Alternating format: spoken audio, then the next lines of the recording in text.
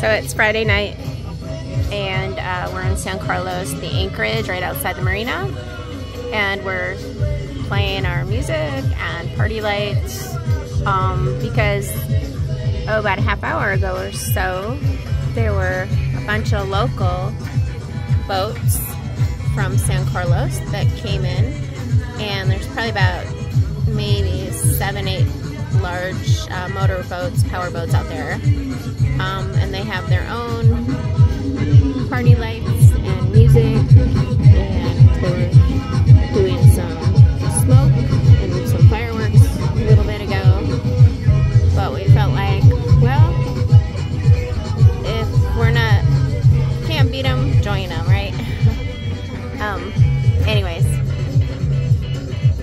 most anchorages are quiet but when we're near uh, city, you tend to get, partiers, especially on the weekends, and the big party yachts too. So it's all good.